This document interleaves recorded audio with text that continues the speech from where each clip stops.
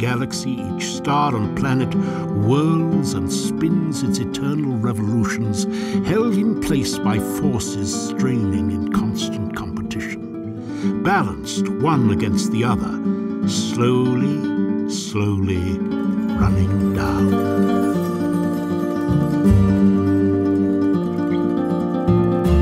Some philosophers have seen the image of a clock as the nearest we can come to a metaphor for perfect creation, absolute craft. Each tick immaculately geared to the next, each tock the answering equivalent.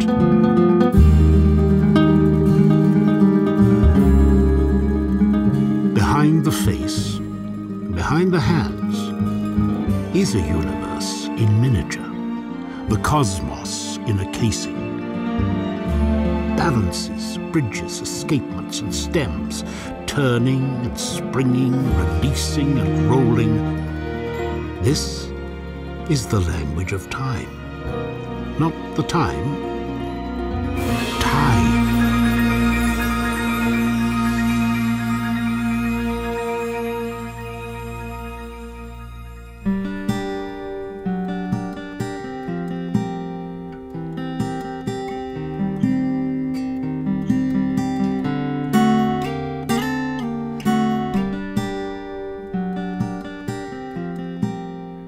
Once upon a time, there was a man who held the universe in his top pocket. A universe encased in solid gold and crafted entirely by his own two hands. Big, plate-like hands. Hands that were engineered to rebore the engine of his beloved Bentley rather than crafting beautiful, intricate timepieces. Yet this passionate, dedicated man the vision that was to make him master of his trade. He became known as the world's greatest living watchmaker. If I could save time in a bottle, the first thing that I'd like to do. I think that uh, it is worth noting is that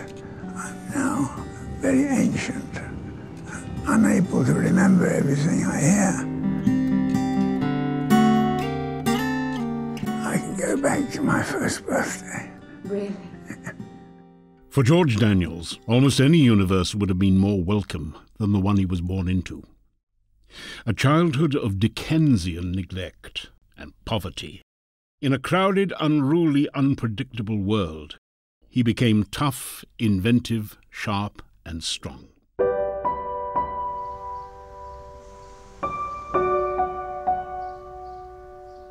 And then, inexplicably, an object of great importance appears in his life. Something quite magical, something that should not have been a part of the world that he inhabited. A pocket watch.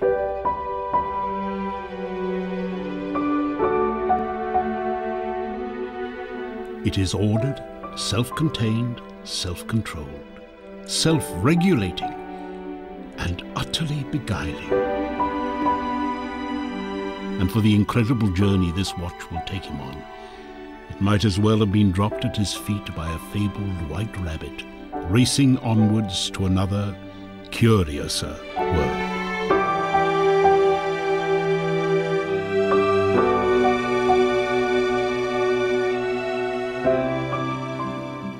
But it didn't work. For all its beautiful complexity, it lacked the movement that made sense of its engineering. So, he turned to the only other timepiece available. Now, when he takes apart the family alarm clock, it's a dangerous thing to do because his parents use that alarm clock. If they come home and see him doing that, he is bound to get a ferocious beating. But he doesn't care. He's so driven by this intense curiosity to see what is inside that clock. It reflected his own view of life. It was independent. It functioned without any outside interference or outside help. Watches and clocks just stood there, ticking away. There's nothing more attractive than a good watch. It's historic, intellectual, technical, aesthetic, amusing, useful. You couldn't beat it. Covers every field and supplies a living for hard up watchmakers like me. Cruda sorte,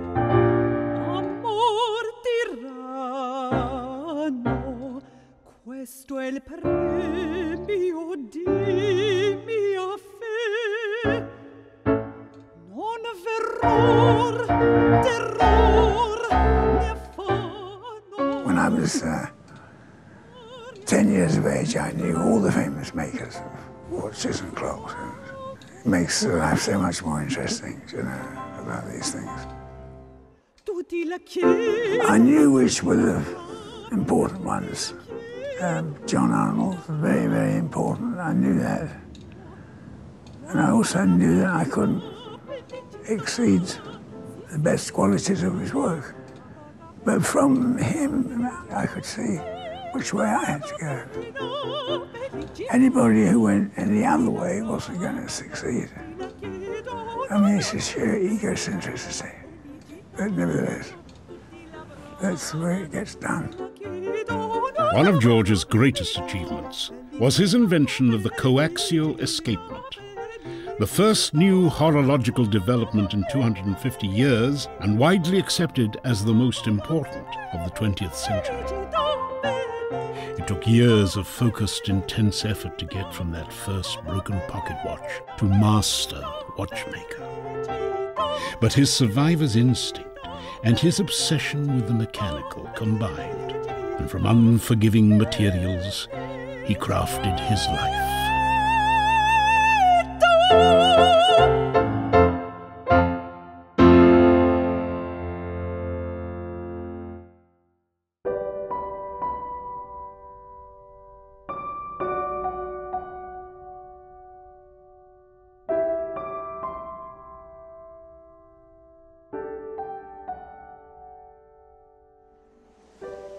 As a boy, I, I didn't really understand the purpose of school.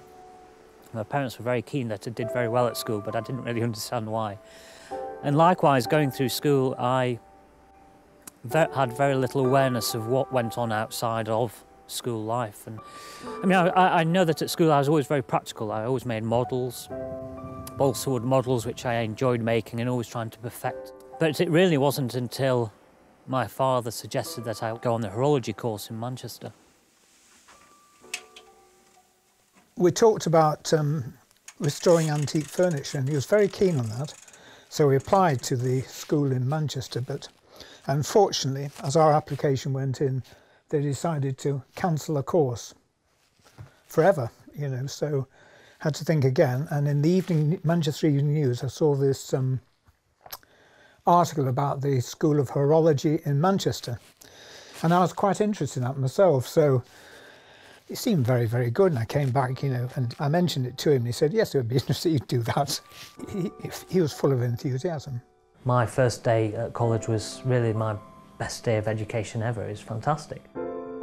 Really, my life started at that point. That was a real awakening, I suppose.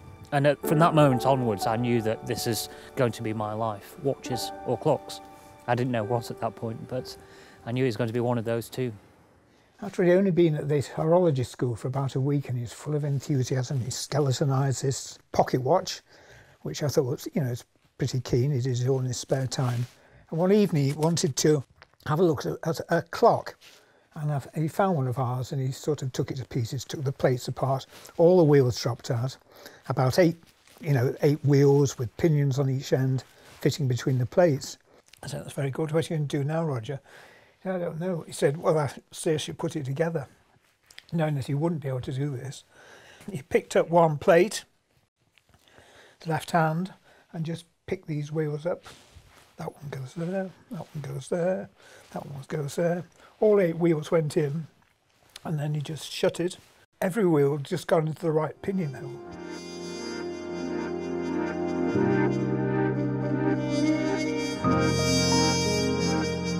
So it seemed the restless young schoolboy who was so unsure of his future had stumbled upon his destiny.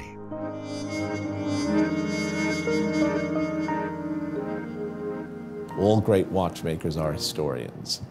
All great watchmakers know what came before them, and they tease out of that knowledge a way forward for themselves. It starts with the sun. The great sky clock was the first regulator, marking the time when men could hunt, fish, plant, or harvest. Its time in the heavens determined by the seasons. But as soon as the regularity of these phases was noted, they were measured. And as soon as measured, put to use. As every nation developed, newer technologies were needed.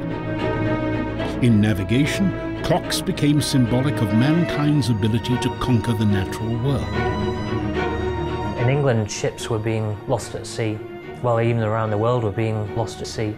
A man called John Harrison, a very famous English watchmaker, he managed to create the very first accurate timekeepers, which enabled navigators to locate their position at sea.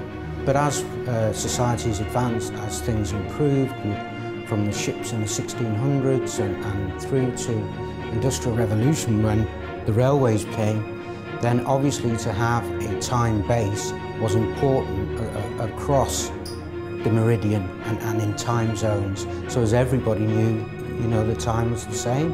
As industrialization took hold, the mechanization of human life took over, and time became the possession of the factory owner. Lengths of days were irrelevant. It was hours worked that mattered. And suddenly your common man, he needed to make sure he was at work on time. And that's where mass production started. And so for the common man, they became commonplace. Whatever symbolic influence they could claim was reduced still further with digital devices that could tell the time within millionths of a second using a bit of quartz and a battery. The mechanical timepiece was made redundant. From looking at the sky to gauge our place in the day, we can see the time anywhere. We are pursued by beeps and digits, mobiles and tablets, PCs and computers, all of them remote devices clicking precisely, showing the numbers that equate to the time. And yet.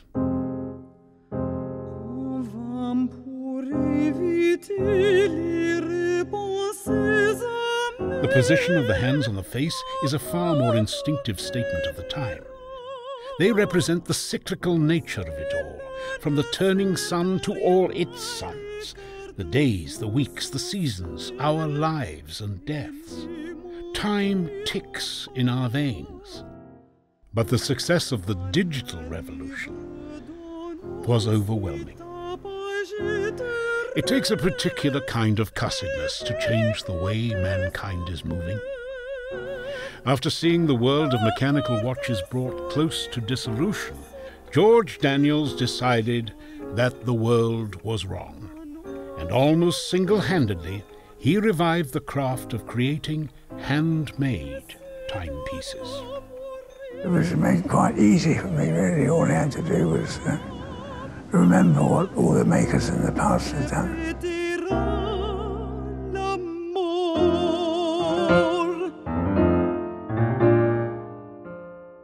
He started repairing, restoring, um, became an agent for Breguet in London, and actually made um, Breguet clocks. He made uh, two three-wheel clocks, very, very sought after. And Abraham Louis Breguet was a very, very famous French watchmaker. And I suppose he saw the quality of Breguet's work and he thought he could improve on it, which quite clearly he did with the double wheel escapement and the coaxial escapement. A timepiece has its own ticking heart. The escape, a life-giving mechanism of balance wheels and levers that transfer energy to the timekeeping elements of the machine. they bring it to life. Many great watchmakers have tried to perfect this device, not only to make this heart stronger and more stable, but to make clocks and watches more and more accurate. For 250 years, it was Mudge's lever escapement that reigned supreme. That is, until George Daniels decided he could do better.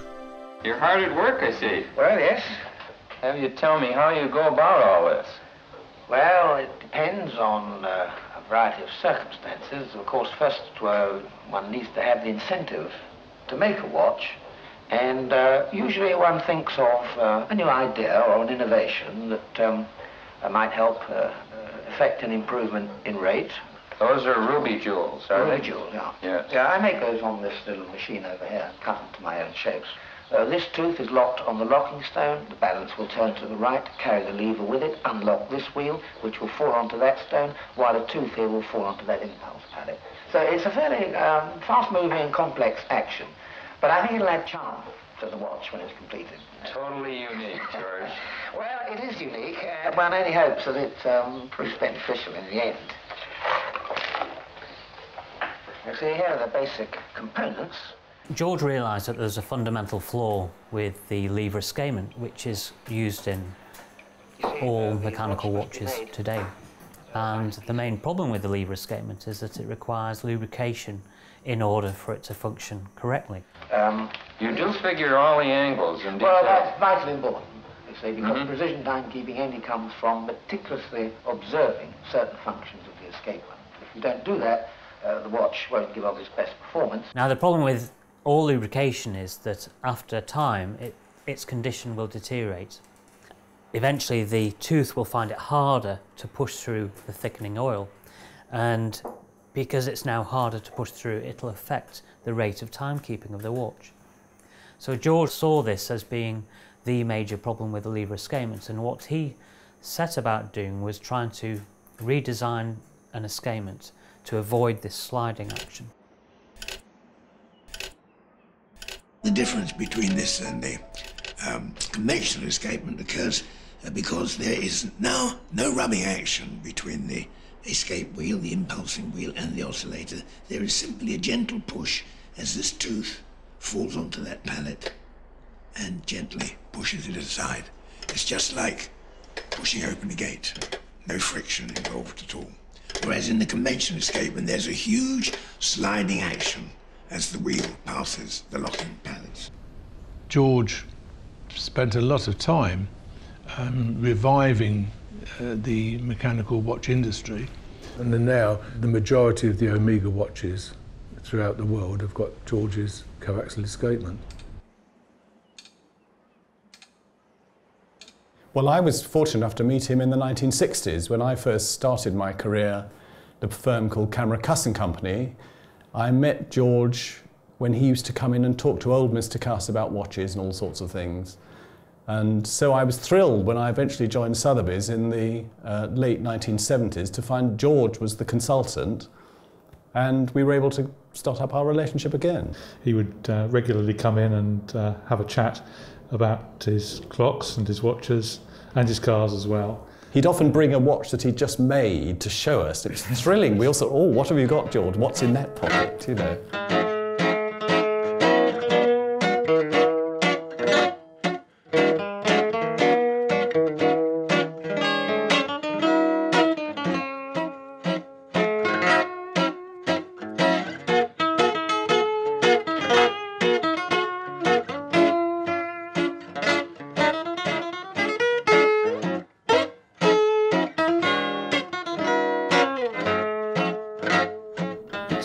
Fact that he's the first person for so long to have produced everything, every part of the watch. I think, I believe, apart from the springs, Yes. but everything else the dials, the cases, the movements, and nobody else has done that. Yeah, it's quite remarkable, especially as they were such complicated watches.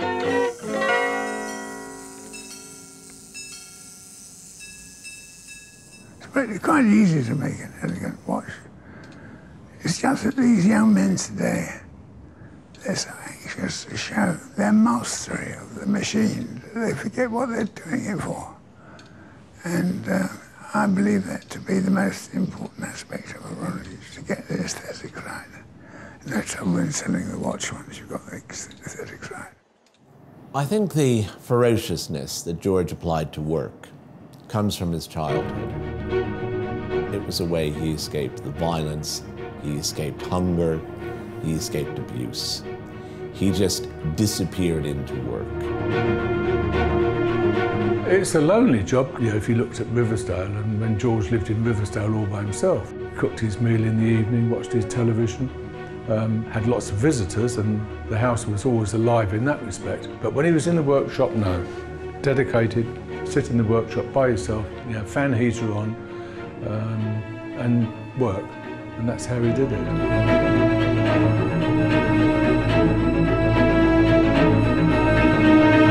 I never made a watch for commercial reasons. Always they were handmade for specific reasons which would, if properly exploited, improve the performance of the watch. Indeed, the very uh, word uh, horology means timekeeping. And that's my business, to uh, make the watch a better watch for good and all. George has been heralded as a genius, a pioneer with a visionary spirit. The recipient of countless medals and awards from his peers, Daniels now ranks among the horological greats that he himself was once in awe of. He single-handedly influenced the entire horological industry and will go down in history as one of the greatest watchmakers of all time.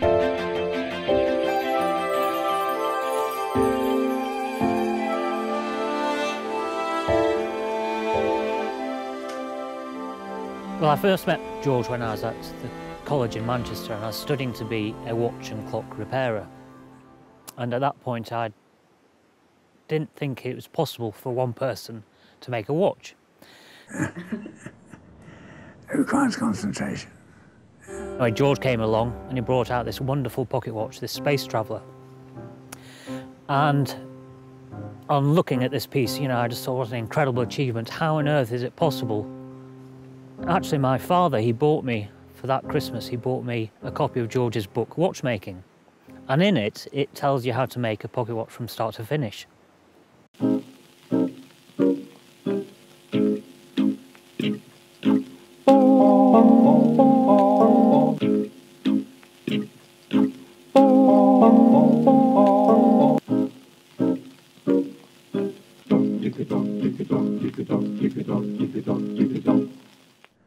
spent something like 12 to 16 hours every day in the workshop with new ideas and experiments. Because quite a lot of work goes into experimenting with an obscure subject like horology.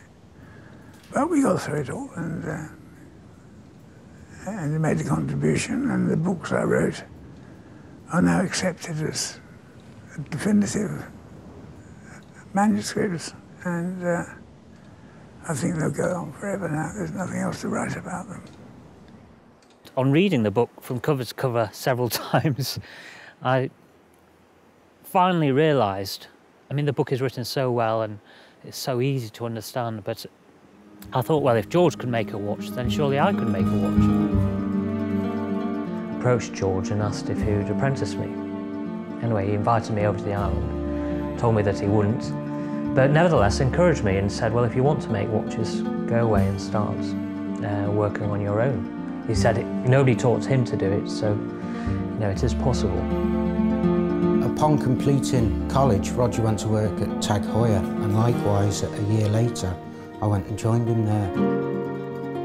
After working full-time, probably for 18 months, he, he went to the company and sort of asked to reduce his hours to two or three days a week to concentrate on the completion of his first pocket watch. Unfortunately, you know, they declined his offer, so he literally left and he found trade work to fill the gaps and earn the money. And he completed that first pocket watch when he was 22, which was a tourbillon, and that really is, is unheard of. Roger is very precise. He's got endless patience, sort of an abnormal degree of patience.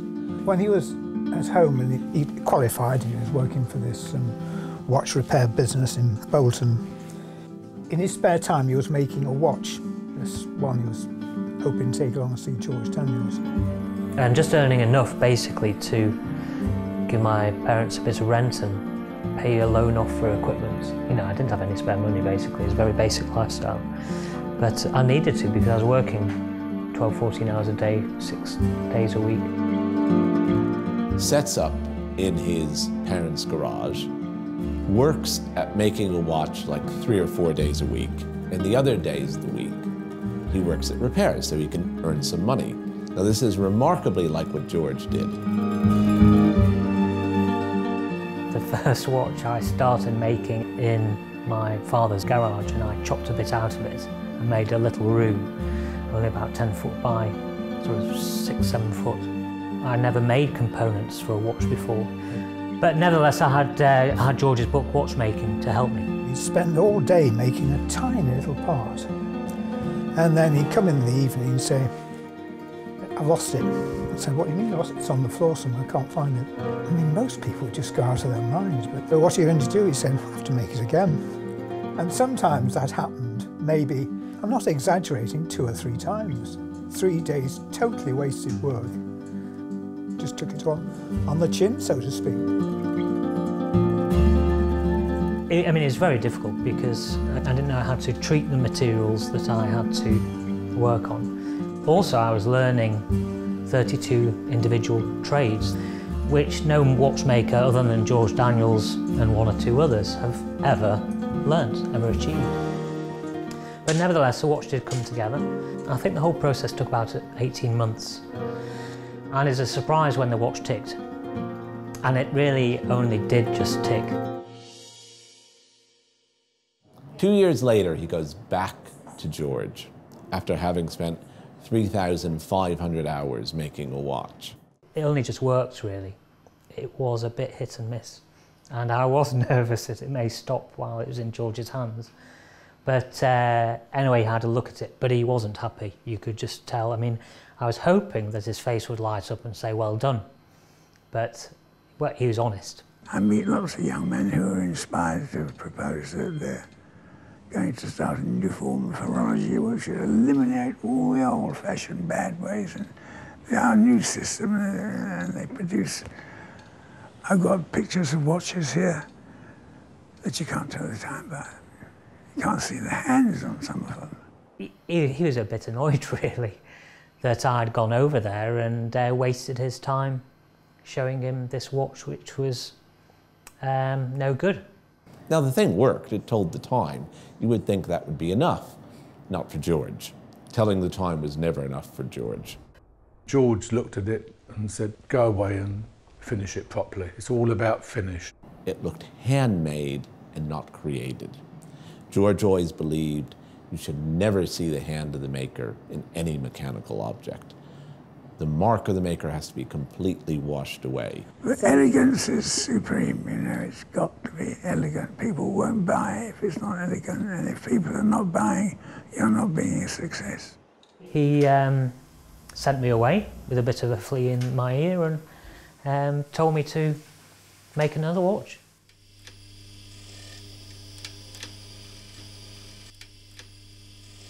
Being told that you can't do something, then I immediately want to go out and prove that I can do it. I just wasn't prepared to let it go.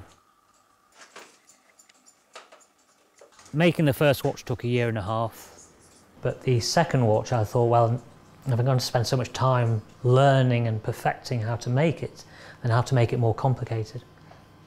And so I added a, uh, a four-year perpetual calendar mechanism onto it.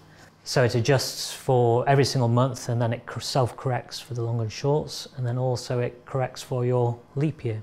So it's a very complicated piece.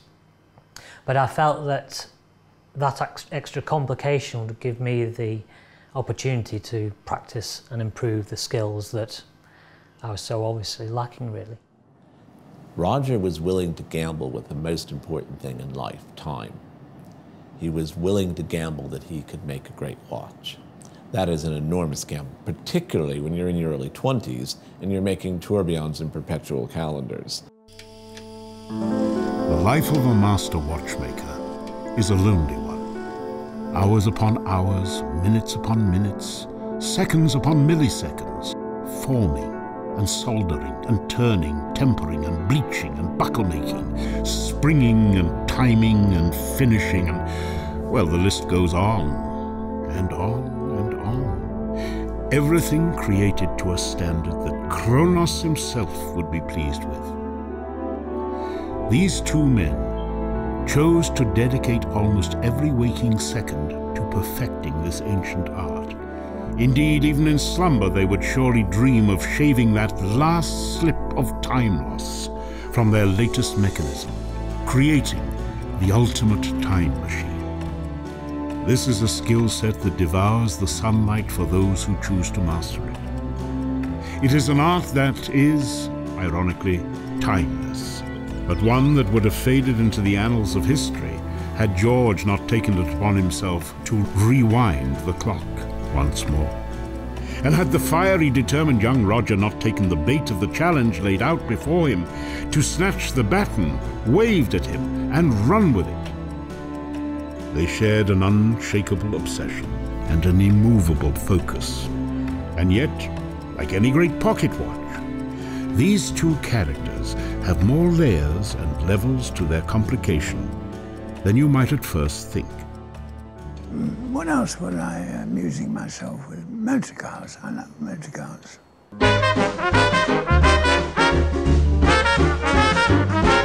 He did say that when he was a watchmaker, a man learning the trade repairing watches, he had few friends. As soon as he bought a vintage Bentley, he had a hundred friends.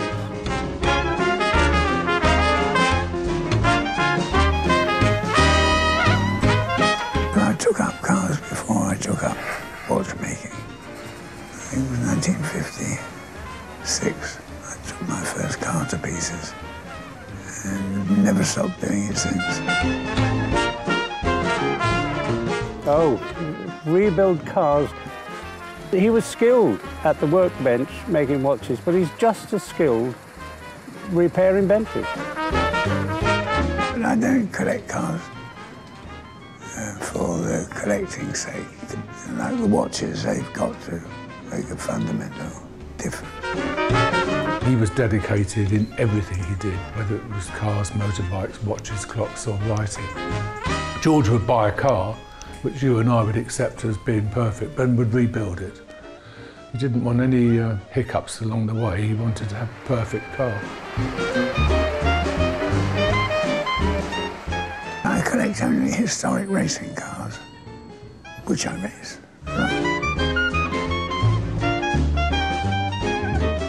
I've got 13 of them here, and I've raced all of them. And I got the pictures to prove it. What a fun it is to take your own car to a circuit and race it. Especially if there's some top drivers in the same race who uh, make you wish you were a bit cleverer. He didn't win a lot of races, but every race he took part in, they were fun. He would nearly always um, end up sideways on the grass, spinning. Fear was something that George Daniels actually didn't recognise. It was very hard keeping up with George in this car if, if you had something uh, not quite as fast. He was gone like the wind, you know. We had some very good outings together uh, and some hair-raising experiences. I think the nearest I've ever come to death, I think, is being driven in the Itala by George Daniels. And I'll show you the cars if you would like to see them.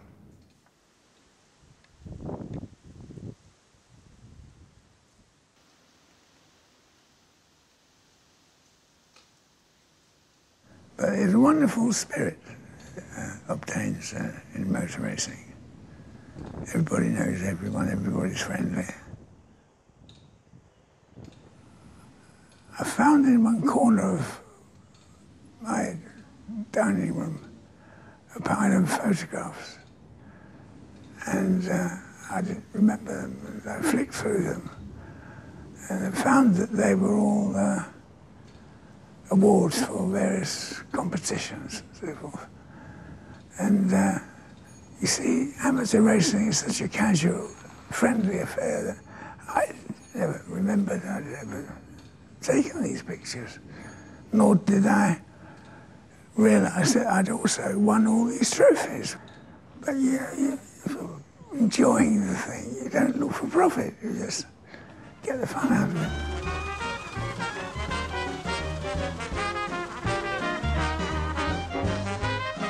But that was George, and he just didn't go out there to win. He, he went out there for the camaraderie, the fun. It's a privilege to drive these wonderful machines.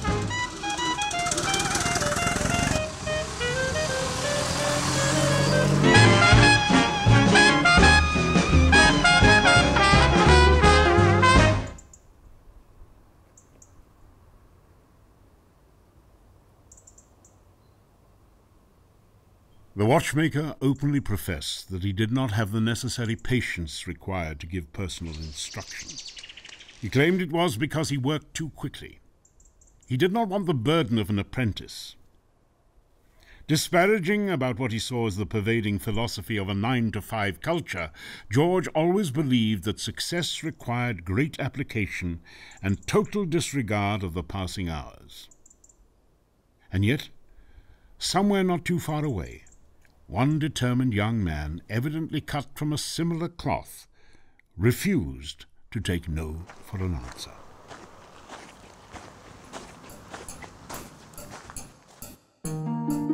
Well, the second watch that I made was the um, is a Tourbillon pocket watch, and it had a perpetual calendar on it.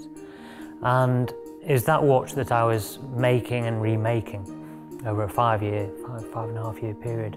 And basically, at the end of the first year, I found that the components that I'd just recently made were of a far poorer quality, so I'd go back to the beginning of the watch and remake it. Eventually, well, I think my parents were running out of patience with me because I was still living and working at home. And I think I'd also got to a stage where I just knew I couldn't physically improve on what I was making. You know, the quality of the parts I was very happy with them. And so it came to the time when I had to contact George and arrange another visit to the Alderman to show him the watch.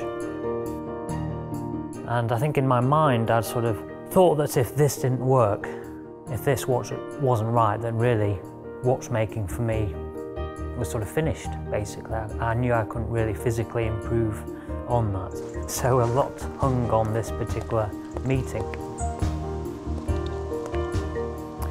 I arrived at the allotted time at the house and he invited me in into his kitchen where he does all his paperwork. This big desk where all the paper's spread out. And he just told me to stand and wait by the door there. Anyway, he continued doing his paperwork, shoveling bits of paper around and didn't say anything to me. And that continued for about five or ten minutes. Eventually he said, right, he said, let's look at this watch. So he said, follow me. So we left the house and walked down to the workshop. And on the way he said, uh, he said, your first watch was terrible, wasn't it? He said, I think you knew it was terrible. I don't know what you were doing trying to show it to me. What were you trying to prove? So, and what, how do you reply to that? I thought this isn't good. But anyway, we got into the workshop. I followed him here and George sat down at the bench there and I basically just stood sort of to, to his left and put the uh, watch down there where that pen is and he opened the box. He wasn't very impressed with the box. He isn't impressed with boxes.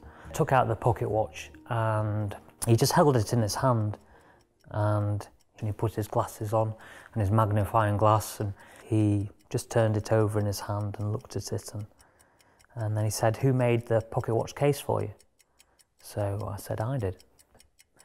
Then he turned it round and looked at the dial and he said, where did you get the dial made? So I said, well, I made the dial. And turned it round a bit more and then he opened the back of the watch. At this point, my heart was just pumping 10 to the dozen, you know. I mean, this was the moment, really. Then he looked at the mechanism and he said, uh, he said, who made the uh, Tourbillon carriage for you? So I said, I did. Then he looked at the escape wheel and he says, very nice escape wheel. Where did you get that from? So I said, I, I made it, George. And anyway, with that, he just snapped the back to, put the watch down, stood up, he says, Congratulations, you're a watchmaker.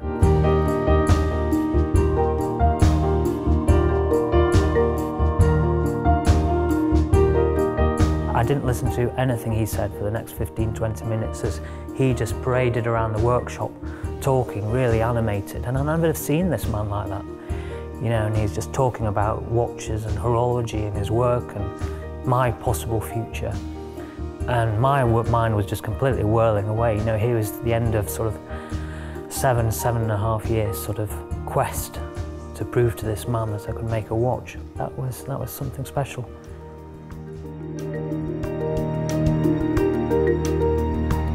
And so it seemed the solitary watchmaker was finally relenting. He gained a worthy apprentice to join him on his journey, with whom he could share his ancient wisdom, the secret of time.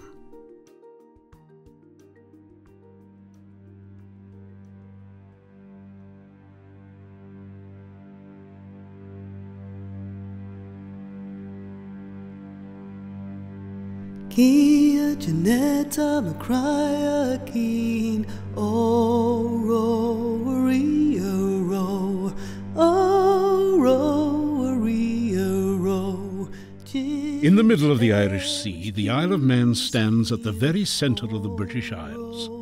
It is independent in attitude as much as by constitution, and has been quietly radical for over a thousand years. O Ro Rio Ro The past breathes through the hills and the shores and the soil.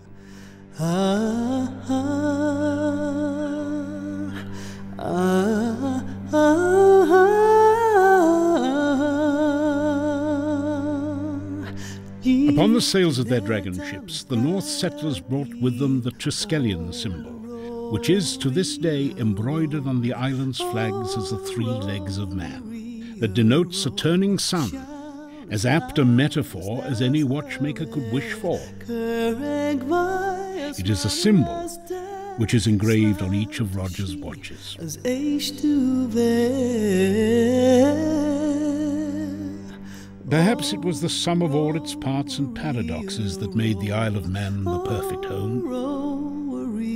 Or perhaps George Daniels, master watchmaker and keeper of time, was simply seduced by the islander's most loved phrase, Traa dy liooar, meaning time enough. Rio Ro.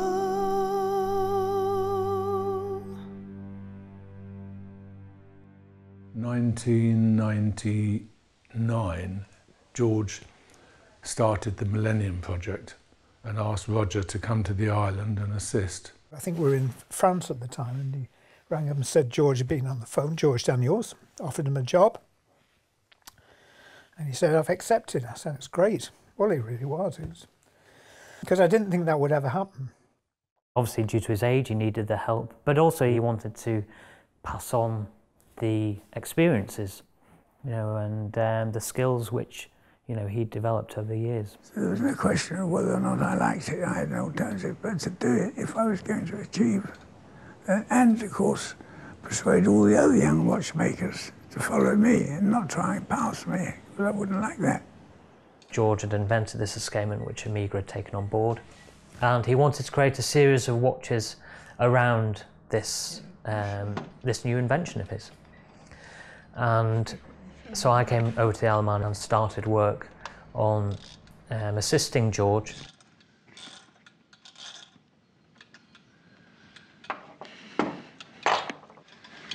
There we are.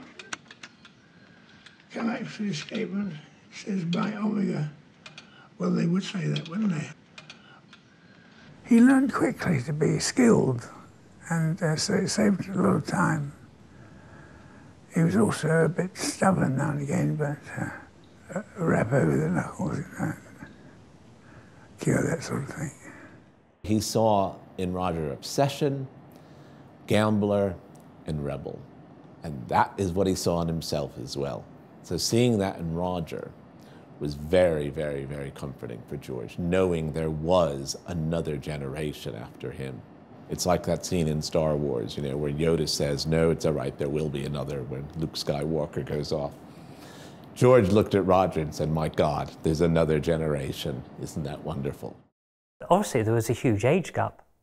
He was 72 and I was 28 when I arrived here, so um, our lives were very, very different. There's also banter. He always used to refer to me when things weren't going well as Smith of Bolton. And um, obviously, he referred to himself as Daniels of London, and that sort of says it all, really, doesn't it?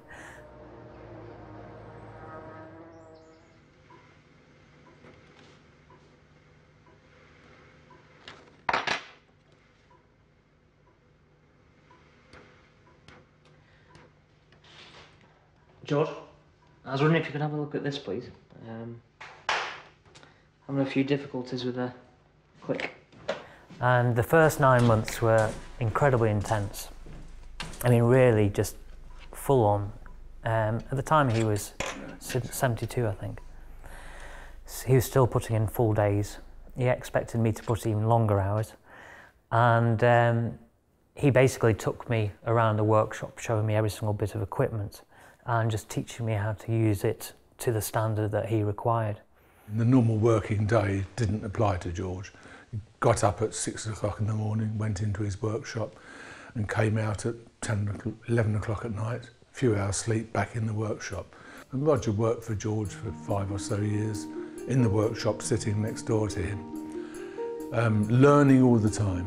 Um, and under the watchful eye of George. Roger will tell you about the time he had making dials and how George used to reject them and say, no, go away, it's not good. And to most people's eyes, that they were perfect. So you're going to have to do that bit again, otherwise it works very well on me. So where do you want the points of engagement? To move it further onto this, this uh, bulge. We kept beating Roger until he caught up with the speed I wanted. And, and finally, he resolved to follow. It was a great experience, probably you know the finest finishing school you could wish for, working with the great man himself. Ready to bleach it white, ready for finishing with the chapter rings.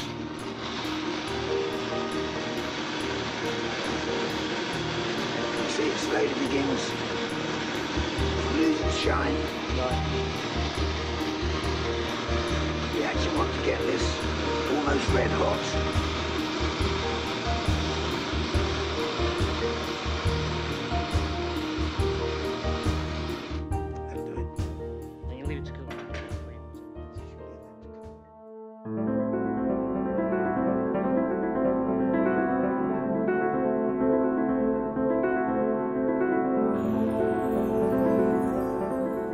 Watchmaking is a trade, a craft, an art, a profession. It's all those things that has always passed from an individual, a master watchmaker, to apprentices.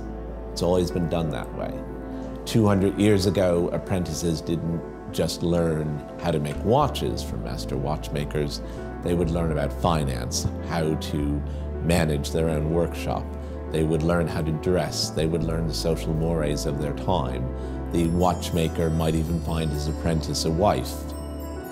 Now, all that has disappeared, and the only thing we're left with is pure education.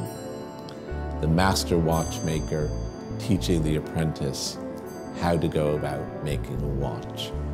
That's been replaced by watch schools.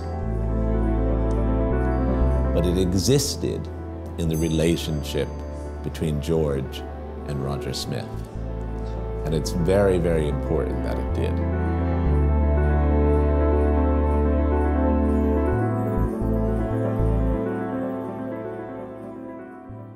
This is George's bench, and really, in my view, it's probably one of the most iconic benches in the world. I mean, every single uh, watch that George made was made at this bench. This bench was down in London. It moved over here to the Isle of Man. The coaxial escapement was built on this bench and many other of his sort of incredible pieces. So all the hand tools all around the back, plenty of files for all the components and so on. And of course his infamous glasses and eyeglass. what George wanted out of me was to be able to make his watches to the standards he required. So it's serious work, and I obviously wanted to, and you know, wanted to make the very best I could. And if I could be accepted by George, then really, you know, I, I hoped that my future would be a little bit easier. So for me, when I was here in the workshop, I kept fairly quiet and I just soaked everything up. And I was like a big sponge, really. And if I wasn't working, I mean, we used to often go out to the pub for lunch. And I'm afraid I just barraged him with questions about his whole life. I wanted to get as much out of the whole experience as he probably did from me. So it was a good two-way sort of relationship.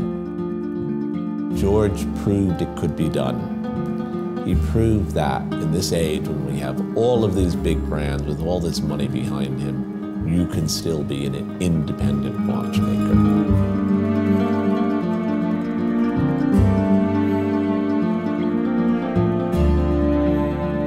Entire lives are structured around time. We take it for granted, minute after minute, hour after hour, year after year. What type of man dedicates his life to taking this human concept and creating its physical reality, and then elevating watchmaking beyond this into an art form?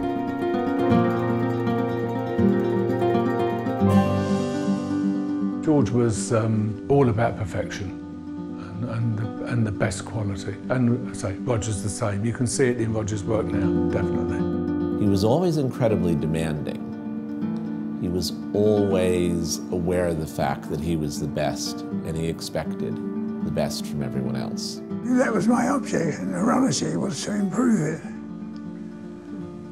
Every aspect of it. So that the watch was a better thing after I'd finished than it was when I started. Didn't always quite work out. But then it's a very imperfect world, isn't it? You can't have everything. I'm afraid there's always this obsessive streak that I have that just says when the next when I finish the next watch, that little component will be better. Or there's a little mark there. I don't think anybody else would ever notice it, but I notice it. And it it's sort of put in the memory bank and you know, so the next piece is you're always trying for perfection. I don't think with this job you're all, you're ever totally happy. And there's something we have to bear in mind about Roger. He's 42 years old today. It's 2012. I think it's 42 or maybe 43. How old was George when he sat down and made his first watch? 42.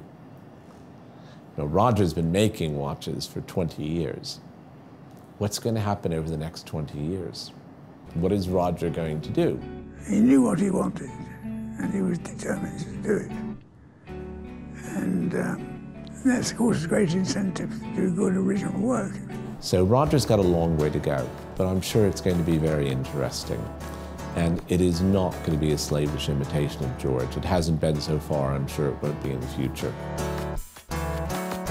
I'm certainly similar in some areas, but not all. I mean, George was quite an extraordinary man. Very big shoes to fill.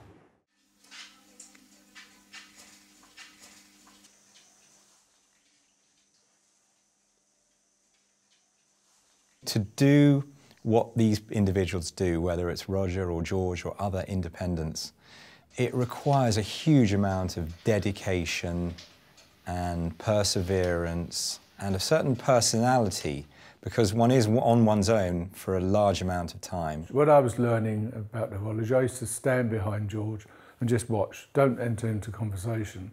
Um, ask questions afterwards because you could just see the, the dedication of one man. And Roger works in the workshop with other people.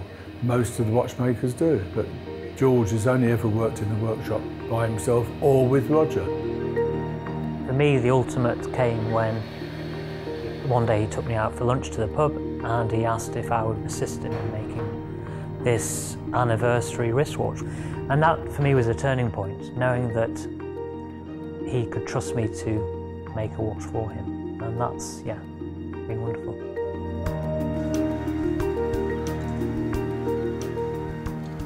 Sometimes them to be careful as they go through life, not to go too quickly. Just wait a little bit now and again. And remember, above all, if you saw a valuable artistic object and you didn't touch it, then you lost an opportunity because you only get one chance. And I wormed my way into many a big house to see their clocks and watches. I mean, the last 20 odd years, I've, all I've thought about is trying to create what we're now doing. It's been a, a total obsession. And um, it's been at the sort of consequence of everything else in my life, really. Go on, let's go. I don't think you're ever really satisfied with what you've achieved. You know, it's it's always a continual quest. I mean, now, you know, we're in, increasing the size of my workshop and taking on new watchmakers, and it's always the next challenge, really. And um, I think that's what makes it exciting.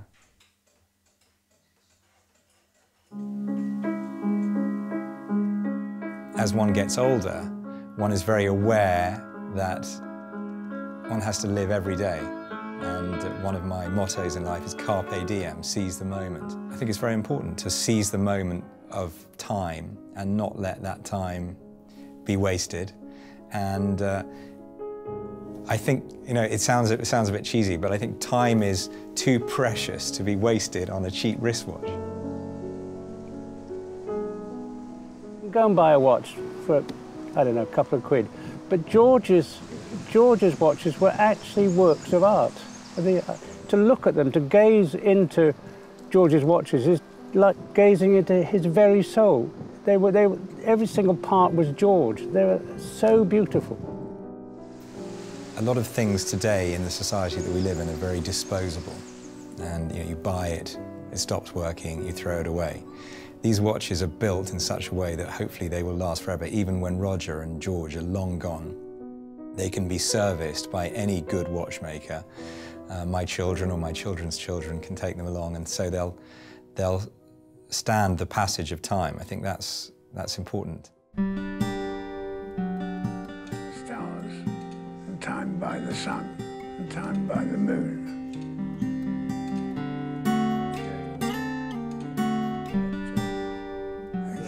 I want you to see my Eduardo Paolozzi. Here's a better one.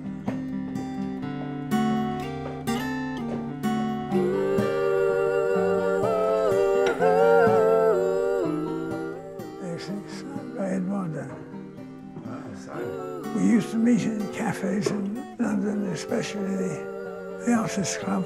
And I used to play the mouth organ, and Eduardo would bang his fork on the table.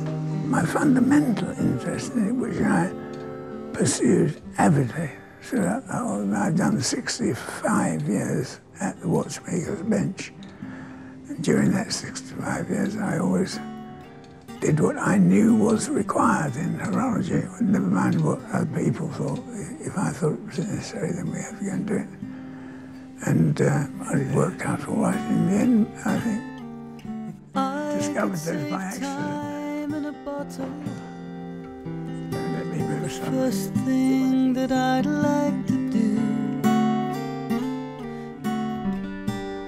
And this clock, I'm very fond of. It's, uh, I don't think his life was smooth. He actually drove himself.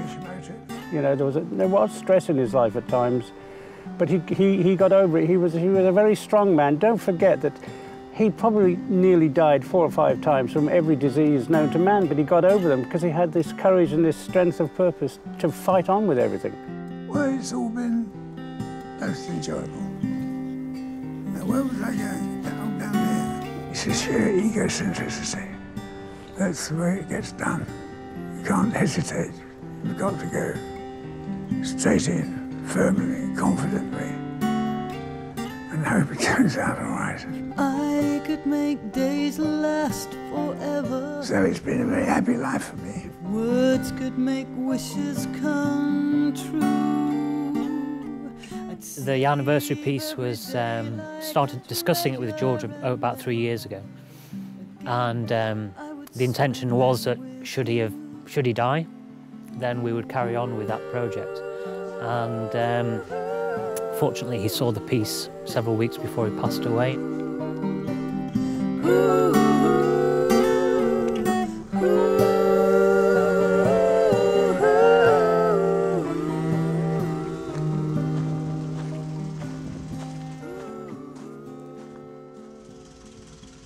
There is a time for everything, and a season for every activity under the heavens. A time to be born, and a time to die. A time to plant, and a time to uproot. A time to kill, and a time to heal. A time to tear down, and a time to build. A time to weep, and a time to laugh. A time to mourn, and a time to dance. A time to embrace and a time to refrain from embracing. A time to search and a time to give up. A time to keep and a time to throw away. A time to be silent and a time to speak.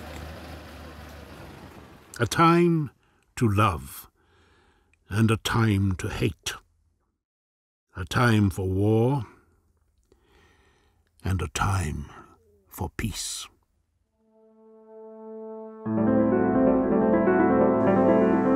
Mean, one thing that George did, what was the extraordinary things that he did was he was the first person in history to have ever made a watch from start to finish. You don't really, you don't get that today in the industry.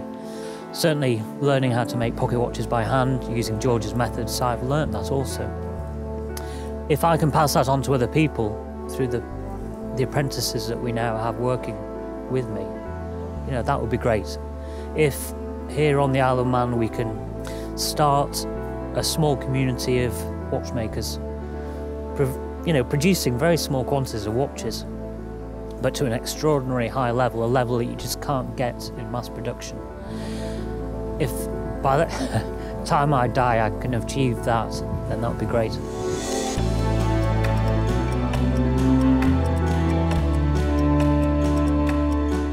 Every watchmaker knows that he is perfecting the measurement of his own mortality. The turning hands on a watch are symbols for the revolutions that spin out man's span. The hands turn, the sun rises, apogee sets, moons change, days renew. It is man that ends, but his works can endure.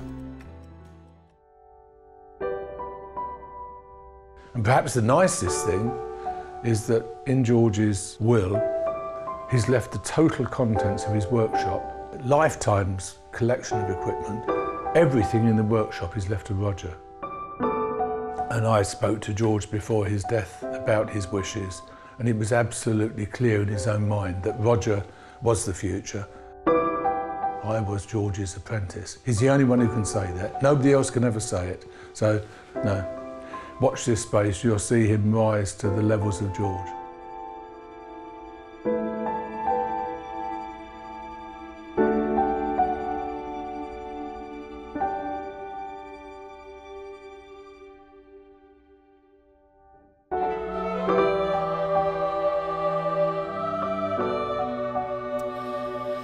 Suppose for George to have said, you're good enough to do that, that's yeah, good.